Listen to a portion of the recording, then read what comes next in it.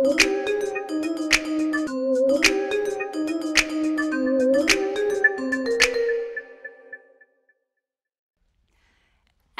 Woman is proud to put our spotlight on up-and-coming comedian Taquita Love. Welcome.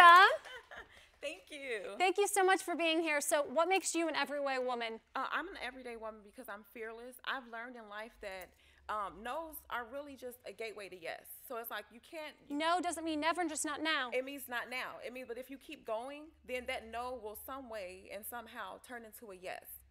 You, uh, I mean, you can't you can't fail if you don't. You know, if you try.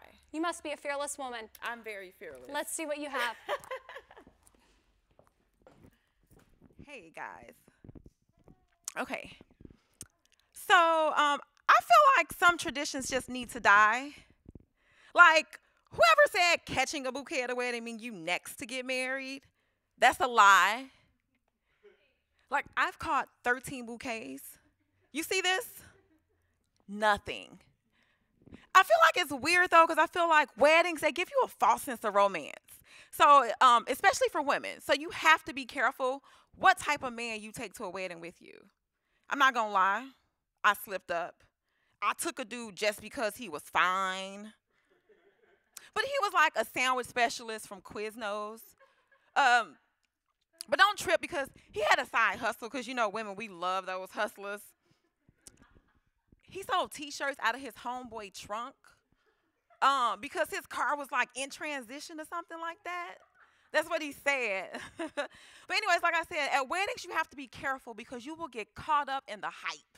Like you have the flower girl throwing the flowers down, you have the ring bearer presenting the ring, then you have all the bridesmaids and they look good because they have on the same color, no matter how big they are.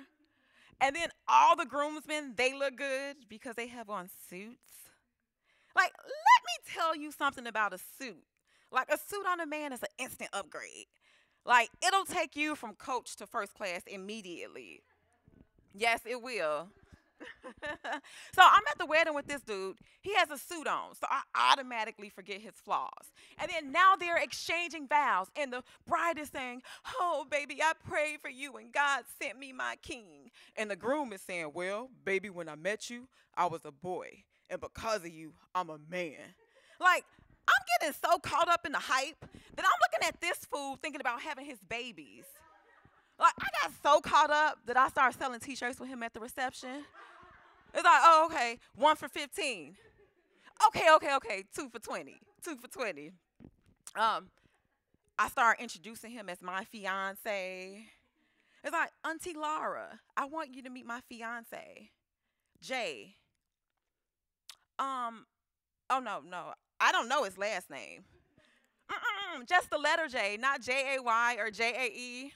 Ladies, those are the type of men that will mess our lives up. Like their names are one letter. It'll be like J or O or Q. Darn is. Um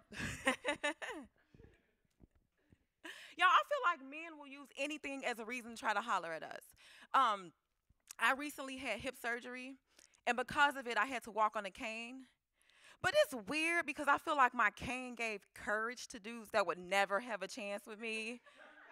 Um, I'm at the club with my homegirls, and the guy at the door, he has a cane too.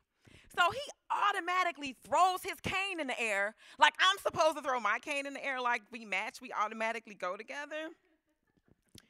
Um, I feel like the presence of the cane made me look worse off than what I really was. I was at physical therapy, and a guy in a wheelchair gave me a note and it said, Would you like to join me for dinner? Blink once for yes, blink twice for no. It's like, sir, I am not at your level of disability right now. Oh, he don't understand me. So I blinked once, y'all. Who gonna turn down the free meal? he sent a car to come pick me up one of those handicap access vans. Like, ladies, you have not lived unless you had a ride on one of those lifts. Those, mm, ee, ee, ee. He took me to Morton Steakhouse. Um, I feel like your age determines what mechanism you use to try to holler at a girl.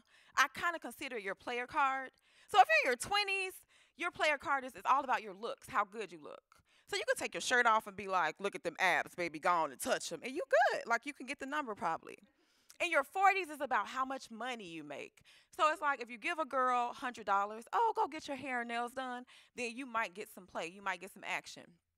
But when you're older, it's all about your health. So it's like if you're running like a 5K for Bank of America, then you're good.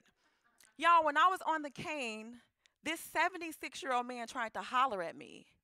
And when I told him I wasn't interested, he hit me with his player card. Well, um, you know I do cardio three times a week. Like to reassure me that if I gave him some, that he wasn't gonna die on me. It's like, sir, I am not interested in trying to mess with somebody that looked like my grandpa. But if he had a suit on, I might have gave him some play. Thank you guys. I'm Taquita Love.